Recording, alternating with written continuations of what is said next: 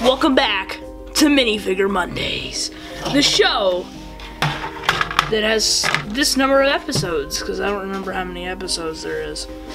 I think this is the fourth, maybe? No, the it's the fifth? fifth. This is the fifth. We're taking a look at this guy's favorite minifigure. Yes, that's right. He commented the Arditi. the Italian RD. The Italian Arditi. I got two of these guys for Christmas. The Arditi. Now, have you ever heard the expression, and I hope this doesn't really kind of send you reeling and get you upset with the, with the graphic nature of this oh, phrase, Oh, God. but have you ever heard the expression badass? Yes, I've heard of the expression badass. All right. Well, when you I'm sorry, Soul. You're watching with the sun. We know our audiences, and we, when from from now on sad for that. from now on when you hear that phrase, you're gonna think BA. the Italian Arditi Okay. because they were the original shock troops. These guys were ferocious. They were formed in 1917, young Joshua, by the Italian military because they were sick of this trench warfare that they were fighting there in the Southern Alps against the uh, Germans and the uh, Austro-Hungarians. And so they came up with this idea of forming an elite group. A lot of them came from the Alpine regiments. These were the best, the brightest, the most motivated, the most athletic, the best in the Italian military. And the idea was they would throw these guys into the trenches, and they usually would go in with just, interestingly enough, just knives. Knives and hand grenades were their main thing. Uh, sometimes they had flamethrowers. Most of them didn't even carry a rifle. The idea was to jump in the trench in a hurry, get down and dirty, slit throats, and then pave the way for the trenches to be overrun. And that's just what they did. They were ferocious and fearless. And their specialty was hand to hand combat. So these guys are kind of the original shock troops, the original special forces, if you will. And they, they wore armor. They had they had these kind of strange helmets. I'm gonna stop doing that for my own safety.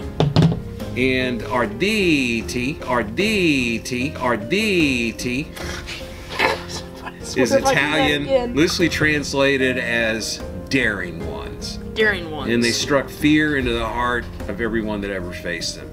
So from 1917, 1918, they were the true bad bads of the Italian army. I was trying to play stay PG here. Yes.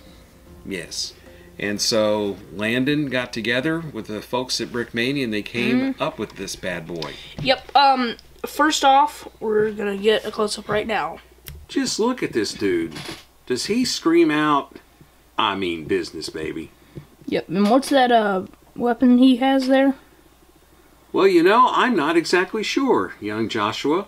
I'm embarrassed to say I did all kinds of research on the Arditi. and and the only things mentioned are submachine guns, flamethrowers, grenades, and of course their daggers. This looks like a a wire cutter or a pike. I don't know. or- If anybody uh down in the description, I mean down in the comments, could let us know, that'd be greatly appreciated. I'm sure we're going to get skewered, but I honestly spent a couple hours looking and I could not find anything. Whatever it is, it looks dope and cool. But look Yep. at the, the side printing, and oh yeah, it's an awesome minifigure by. you can just see this guy going, We got two of these guys. hey, subscribe, or I'm going to take my Arditi and we come in at nighttime make you wish you'd subscribe. Now that's uh reversible. Yes. So is that like more armored protection? Don't know. Do people want to, me to change this to the regular camera? Let me know. I wouldn't. Anyway, So a super What's- super interesting World War II, World War One figure. and you get three 3D printed custom things in Yes. this. So it's very, very cool. Yeah. I'm gonna use these personally for like guards somewhere. It'd be good. If I was in a mock or something. Or if you have a trench you want stormed, these are the guys. Yes. I still And, cannot uh, figure they're- out their weapon though. Their fighting record was superb. Yeah, we're gonna get skewered probably for not knowing what that weapon If you can is. find but- it in three hours, I doubt the patrons out there are going to. And it looks like some kind of wire cutter or I'm not it's know. embarrassing. But anyway, We don't know. there you have it. But not everything, my young Joshua friend. We have not mentioned our fabulous sponsor, Cosby's Bricks. In the box. Got a Brick Link store. Use the code word BRICKAFIT In the description. and get 10% off. In the description, click the second link, I believe, maybe the third. And But it would say use code word BRICKAFIT for 10% off. when you hit a thousand subscribers, Mm-hmm. we open the mystery box. Who could there be a connection? I don't know. When we hit a thousand, I guess we'll find out.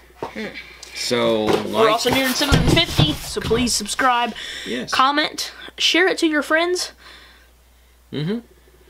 And keep those hands washed and those masks on. Yeah. Believe me, I know from personal experience. yeah. That's what you want to do. All right, so the Italian Arditi. So there, we'll see you on the next one or before. Who knows?